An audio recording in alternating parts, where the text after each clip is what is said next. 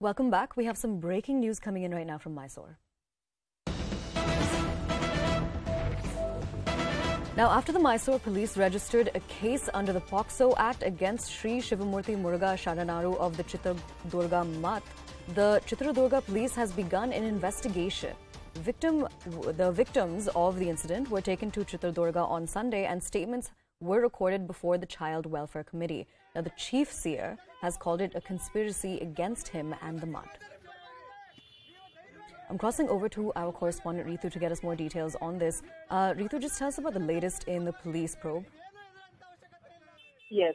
So you see, after uh, uh, that is that the investigation now that is on in this uh, case whole incident. Uh, now, uh, police has in fact taken the uh, victims to Chitradurga from the Bengaluru, and the investigation is on.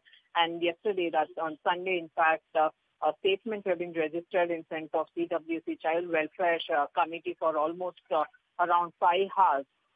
And then later point uh, uh, in the uh, day, you know, the victims were also being taken to the hospital for the medical tests that which went on for a couple of hours. But you also see the people reaching out to the hospital spot and there's uh, uh, telling in support of the girls, saying they are with these girls and they don't have to seer anyone and can be open about what exactly they had gone through. So that's the kind of a support that is pouring in from the people at the hospital. But meanwhile, yes, uh, including the chief uh, fear of the Math, four others are also being accused in this case. But of course, yesterday being a Sunday uh, and the court being off and the judges not being available, today is likely that the police will take the further steps uh, regarding the uh, uh with the uh, available uh, evidence that the police has, and there will be a further step that will be taken from the police.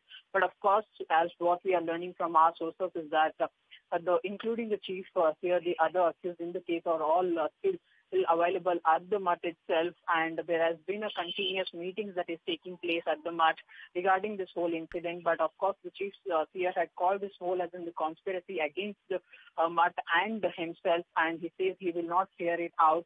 We'll see what exactly takes place in the coming days. But that's the kind of a word that the, uh, the chief seer is also putting it out. But yes this is a Math which is very much uh, are popular in the Karnataka, not just in a way for the followers, but also politically influenced uh, Math as it has been seen because it's of, of course of a, a Lingayat Math on one side and the other side uh, too you see playing a major role during the uh, election times as well because previously too we just saw when Rahul Gandhi